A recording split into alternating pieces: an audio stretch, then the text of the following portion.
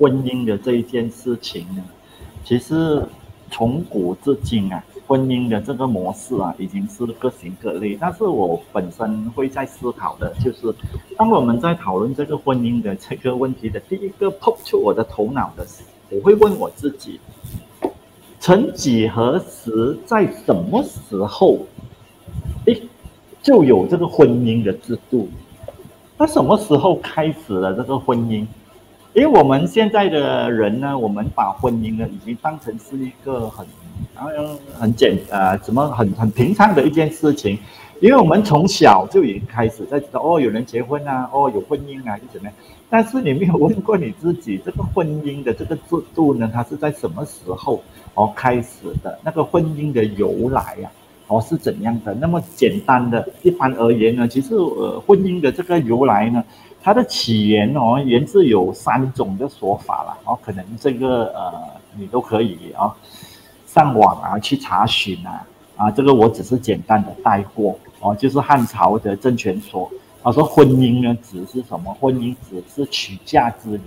哦，所以在我们以前呢，呃，古代的这个婚礼中，哦，男方呢通过黄昏的时候到女方迎娶，啊，然后女方呢就随着男方出门，所以你没有看到我们今天的这个，因为社社会的改变、时代的改变，你看我们通常我们的婚姻都是在白天，因为我们晚上呢我们要摆喜酒，所以如果是在以前的话，婚姻呢都是在黄昏迎娶，啊。所以呢，在这种呢，我们讲啊，男女婚时迎女，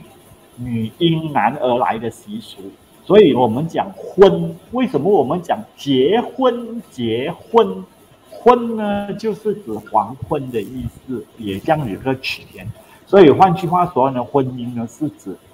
男娶女嫁的一个过程。那我们也知道了，刚刚呃，秋子也有讲哦，或者是加马也有讲的。那么现在呢，在我们的这个呃生活里面，有很多人呢步入婚姻，步入婚姻呢，也就代表说你离开单身的生活。当然，这个是一个学一个讲法啦。另外一个讲法呢，就是说，你只要有成婚，那你的人生中呢，你就所谓是一个大人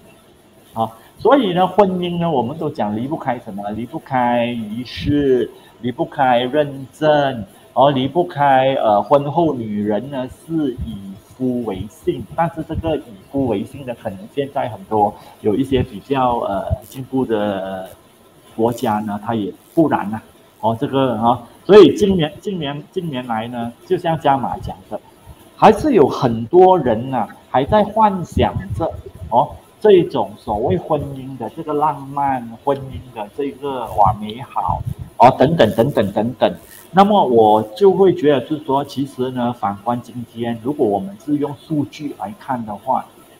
结婚的人多，离婚的人也不少。为什么会是这样？有的人呢，就像我们今天的主题哦，有的人就是往婚姻里面、憧憬里面冲，但是有的人呢，就往婚姻婚外里面逃。但是我补充一下，关于这个婚姻的来源呢，正在如果我们研究人类的话，在它是在农业时代哈啊，就是财产私有制度之下所形成的一个婚姻制度，就是说我已经有这个财产，这个地皮的哈，在农业社会我有这个财产，这个地皮，那我必须要传给我的继承人呢，那我的继承人是谁呢？就是我自己的亲生骨肉。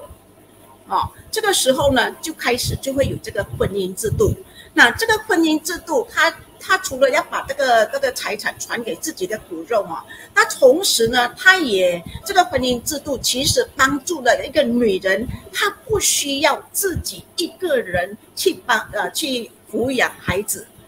在呃这个原始时代的时候，她其实是没有所谓的呃什么。啊，兄弟姐妹啊，这些关系的哈，那孩子呢，只有知道母亲是谁，而不知道爸爸是谁。到了农业社会的时候，因为这个婚姻制度，这个财产是这个财产的继承的关系，所以呢，他无形中保护了这个孩子有爸爸妈妈一起共同的养育他，同时也保护了父妇女，就是他不需要一个人去负担这个孩子的抚养。这个是婚姻制度的来源。